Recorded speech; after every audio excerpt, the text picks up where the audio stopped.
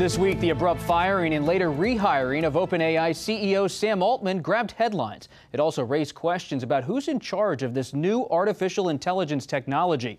As CBS's Charlie DeMar shows us, AI has made breakthroughs of its own.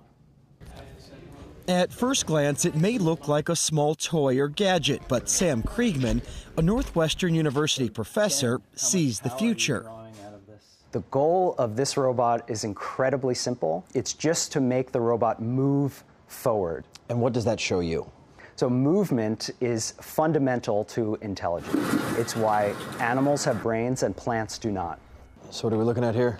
The wiggling chunk of purple silicone is the product of a simple command to a computer make a robot that can move across a flat surface.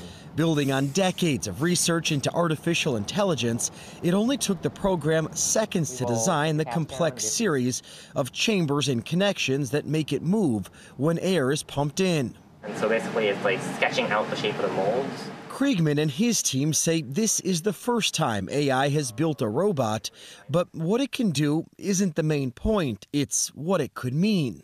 You refer to this as, as instant evolution. Uh, what do you mean by that? It's going to provide a whole new window into biological evolution because now we can watch evolution unfold before our eyes. For all that promise, Gary Marcus, a leading voice on artificial intelligence, says right now AI is about as developed and understood as a temperamental teenager. There are very few checks and balances right now, but it throws its weight around. It doesn't really have, you know, firm values yet, and that's a problem.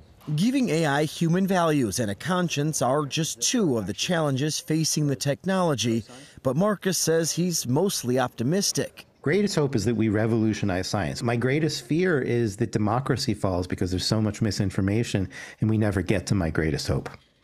Kriegman says he hopes that, like his robot, AI learns to walk first, then it can run. And this kind of AI tool and others like it will help us speed design and come up with completely new ideas. Charlie DeMar, CBS News, Evanston, Illinois.